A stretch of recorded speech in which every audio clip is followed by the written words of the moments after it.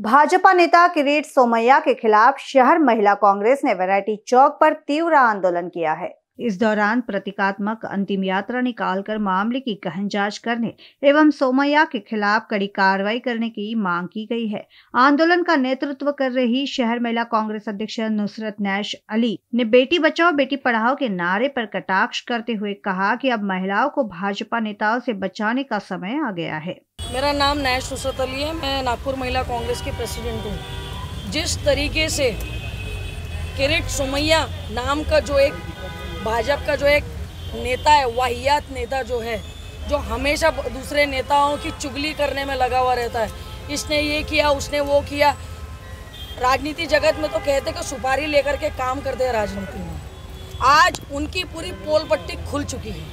लेकिन इस तरीके से खुलेगी ये किसी ने सोचा नहीं था। जो इतनी बड़ी बड़ी बातें करता था, मैं ये, मैं वो।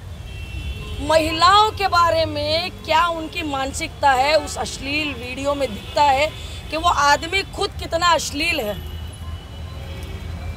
बीजेपी जैसे ये कहती है, बेटी, बचाओ।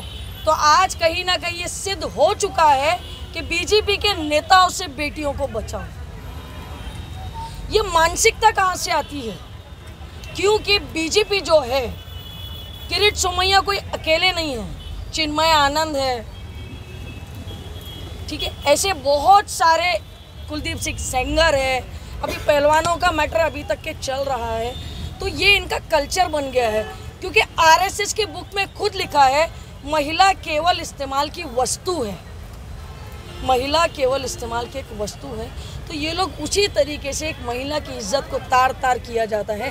जिस तरीके से उस वीडियो में किरीट सोमैया, जो कॉम्प्रोमाइजिंग दिख रहे थे, शर्म आती है, मुझे धिक्कार होती है कि ऐसे व्यक्ति को नेता भी कहते उसे तो बीजेपी क्या, उसे तो पूरी राजनीति से महाराष्ट्र की जनता ने और पूरी देश की महिलाओं ने, देश की जनता ने उसको निष्कासित करना चाहिए। हमने आज इस तरीके से हमने हमारा निषेध ज़ाहिर किया कि हमने किरीट सोमैया की, हमने क्रिया गर्म किया, उनकी अंतिम यात्रा की है। क्योंकि उन्होंने जिस तरीके से महिलाओं के सम्मान की हत्या की है, ये तो बहुत छोटी चीज़ है साहेब। आंदोलन में शिला तराले, गीता जलगांवकर, अंजना मड़ावी आदि समेत बड़ी संख्या में कांग्रेस की महिला कार्यकर्ता एवं पदाधिकारी शामिल थी। कैमरा पर्सन अजीत कुंवर के साथ क्षितिजा देशमुख बीसीएन न्यूज़ नागपुर।